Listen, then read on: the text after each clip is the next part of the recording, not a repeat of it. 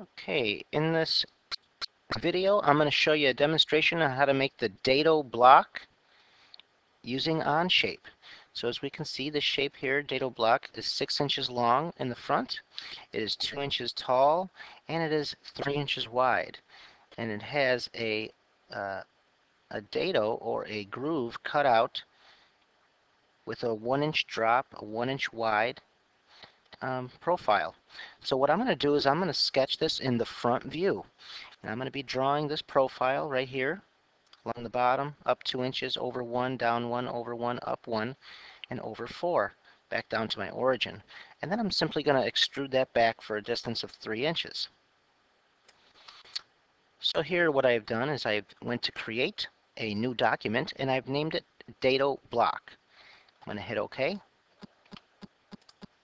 And now that my workspace has shown up, I'm going to start a new sketch in the front view. And now I'm going to go to my view cube and look at the front view.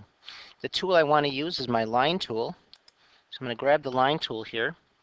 I'm going to start in the origin and I'm going to travel to the right for a distance of 6. Enter.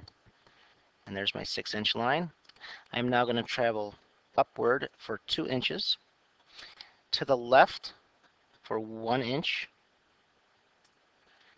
I go down straight for one inch. To the left for one inch.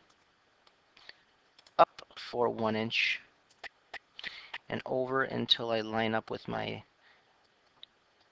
origin, which makes that a 4-inch line, and then back to the origin. You'll notice that the area shades in in gray, indicating that it's an enclosed figure change my camera back to isometric, and go to extrude.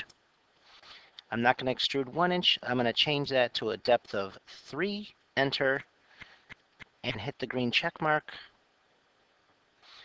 And there's your dado block.